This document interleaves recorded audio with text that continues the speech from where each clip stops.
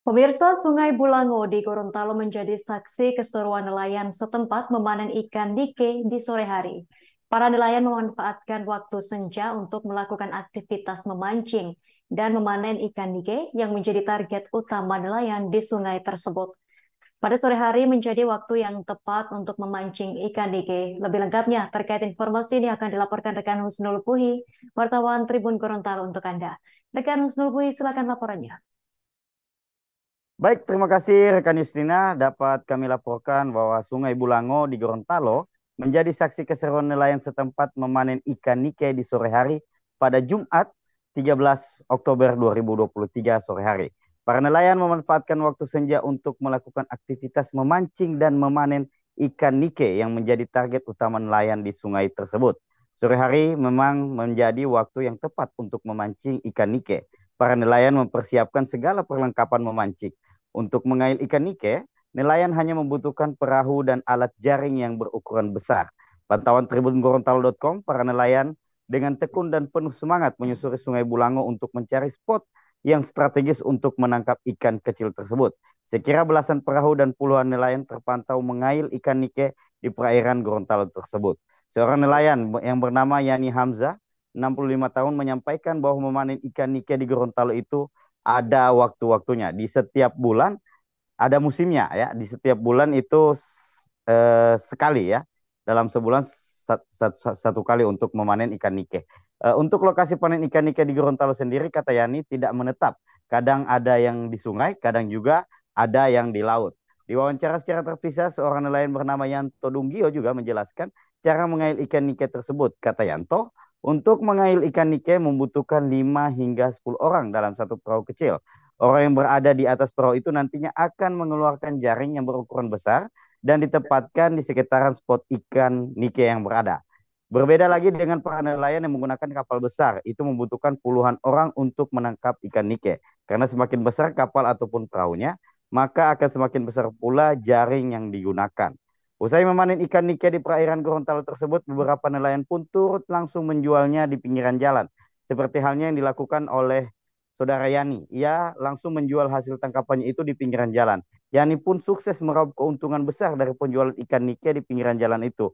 Yani memanen ikan nike dengan hasil yang memuaskan dan kemudian menjualnya langsung kepada masyarakat di pinggiran jalan sehingga menciptakan pasar tersendiri untuk ikan populer ini. Yani menjual ikan musiman tersebut kepada warga yang melintasi jalan Mayor Dullah, Kelurahan Talumolo, Kecamatan Dumbo Raya, Kota Gorontalo pada Jumat 13 Oktober 2023 sore hari.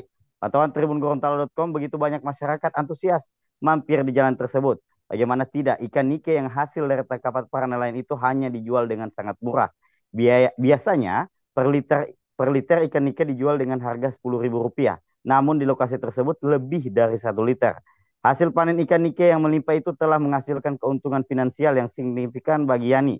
Yani menjelaskan usai ia mendapatkan hasil tangkapannya di Sungai Bulango itu, ia pun langsung menjualnya di pinggiran jalan. Dengan memanfaatkan momentum tersebut, Yani bisa menarik minat banyak pembeli. Yani pun mengungkapkan ke kegembiraannya dengan hasil penjualan ikan nike di pinggiran jalan. E, kata Yani bahwa pada waktu dia menjual tersebut itu dia menghasilkan uang sebesar 600 ribu rupiah. Itu yang baru dijual di uh, pinggiran jalan. Belum lagi yang dijual di pelelangan. Memang biasanya setelah uh, para nelayan itu menangkap ikan nike di sungai maupun di laut itu biasanya mereka langsung menjualnya di pinggiran jalan dan uh, setelah itu baru mereka menjualnya di pelelangan. Jadi uh, besar kemungkinan kata Yani itu akan meraup untung hingga jutaan rupiah. Dan begitupun ada beberapa dari masyarakat setempat yang kami tanyai bagaimana uh, perbandingan harga dari uh, yang dibeli di pinggiran jalan tersebut dengan uh, yang berada di pelelangan. Kata dua dua dua warga yang membeli ikan nike di pinggiran jalan tersebut katanya memang sangat berbeda. Ya lebih banyak uh, yang hasil dari dari uh, pinggiran jalan tersebut dan lebih murah kata uh, dua warga yang kami wawancara tersebut. Demikian rekan Justina yang bisa kami laporkan lapangan. Baik rekan Husnul Pui, wartawan Tribun Gorontalo, terima kasih atas laporan Anda. Selamat bertugas kembali. Berikut kami tampilkan wawancara wartawan lapangan kami bersama Febrianti Yunus dan Julianti Mopangga. Tanggapannya bagaimana Kak masuk membeli Nike di tepi jalan ini? Alhamdulillah,